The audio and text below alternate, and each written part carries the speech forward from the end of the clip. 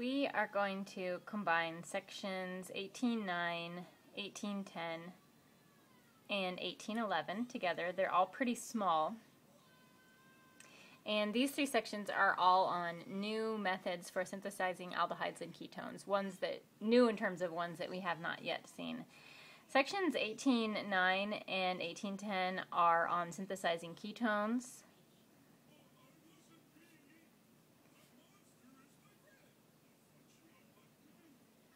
Section 18.9 talks about synthesizing ketones from carboxylic acids.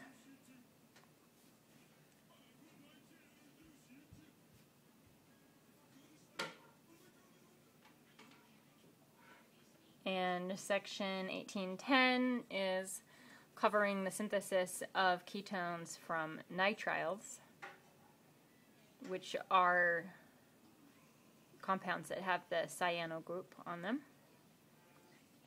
And then section 1811 is the synthesis of aldehydes and ketones. And these are going to be from acid chlorides. So we actually have quite a few ways to make aldehydes and ketones.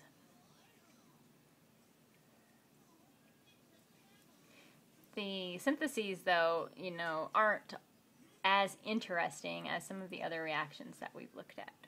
So starting with the synthesis of ketones from carboxylic acids, this is an organolithium reaction. Going to use for this reaction two equivalents of the organolithium, which I'm going to, I'm going to use R prime for the organolithium reagent to distinguish it from the alkyl group that's already present on the carboxylic acid, although they certainly can be the same. They don't need to be different. The, we are only going to add one equivalent of uh, alkyl group onto the carboxylic acid. But the reason that we need to use two equivalents of organolithium reagent for every uh, one equivalent of carboxylic acid is because this is, as you remember from first quarter, this is a very strong base, and of course this is an acid. And when you bring them um, in contact with each other, the first thing that's going to happen, whether we want it to or not, is deprotonation of the carboxylic acid with the strong base.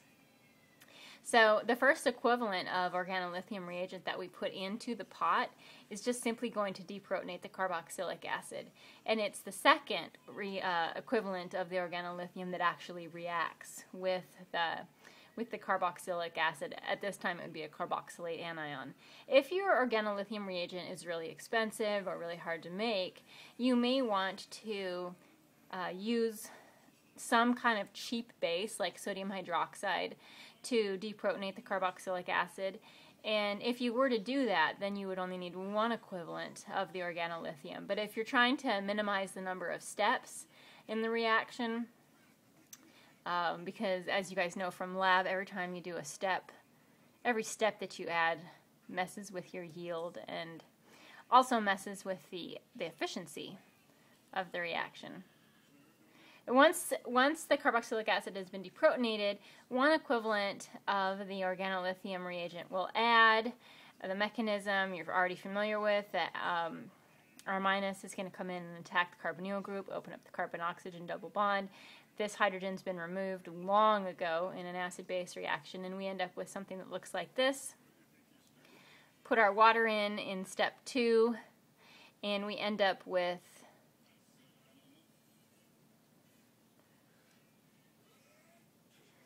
couple of OH groups that will rearrange themselves to form a ketone just simply because the thermodynamics of the ketone is more stable than this um, than this alcohol.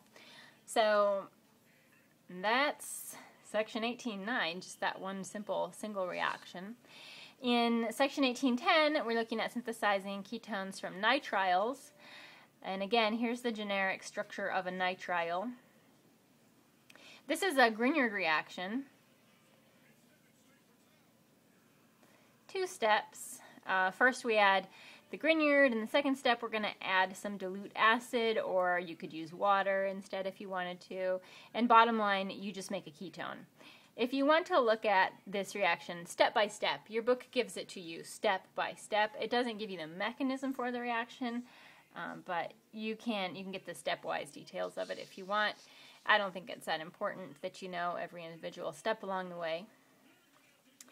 And that's synthesis of a ketone from a nitrile. The last set of reactions we're going to look at are aldehydes and ketones from acid chlorides. So we're going to, I'm going to do some stuff over here. So kind of indent a little bit, start your notes. Not quite in the middle of the page for this one. Here's the acid chloride. Remember we just started uh, talking about what they were on, on Wednesday. And this, we can react with a reducing agent, uh, mild reducing agent, very similar to lithium aluminum hydride, uh, but it is lithium aluminum tritert butoxy hydride. It's going to have a lot of threes in the formula. But it's tri tert butoxy. Here's the tert butoxy group. There's three of them. And then uh, lithium and aluminum and one hydrogen. And that's just a, like I said, a mild reducing agent that ultimately, when it's all said and done, is replacing the chlorine with hydrogen. The acid chloride, and sometimes our compounds just start off as acid chlorides, but it's interesting to know, useful to know, that you can very easily synthesize an acid chloride from a carboxylic acid using SOCl2. So we'll put that in there, uh, that step as well. And so that will get us the aldehyde, the one new synthesis for an aldehyde. We can do a similar reaction turning an acid chloride into a ketone if we use a dialkyl cuprate reagent. Again, I'm going to, oh, that's supposed to be a U, not a 2. I'm going to be using an R prime to distinguish it from this alkyl group that's already present. And this is copper, CuLi. And this will just synthesize the ketone from the acid chloride. The lithium uh, dialkyl cuprate reagent is reactive towards acid chlorides. It's, it's very similar to a Grignard or an organolithium. It's reactive towards acid chlorides, but it's not strong enough to react with a ketone. So you're able to do this synthesis and stop it at a ketone. If you tried to use a Grignard here, or if you tried to use an organolithium reagent here, you would get further reaction with the um, with the ketone to make an alcohol. So this reagent, this milder reagent, allows us to stop the synthesis at the ketone. And I don't think you need to write study questions for these reactions, but you do need to know them. So make sure that you include them in your flashcards or however you um, however you go about getting this stuff in your head.